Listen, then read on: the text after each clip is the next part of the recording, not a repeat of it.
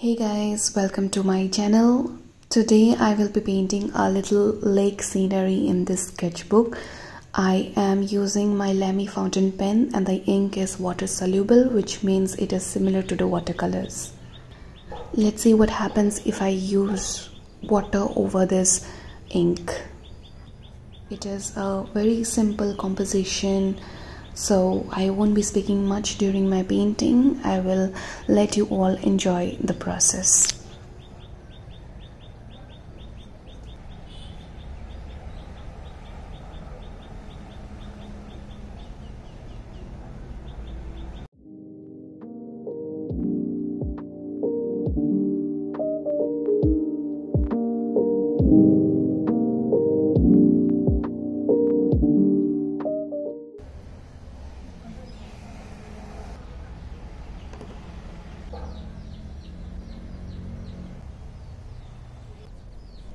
This paper is not suitable for a heavy wash of watercolors so I am using a very light wash and I won't be going over with multiple layers.